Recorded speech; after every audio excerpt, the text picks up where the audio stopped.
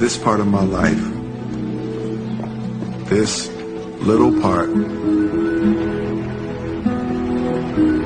is called happiness.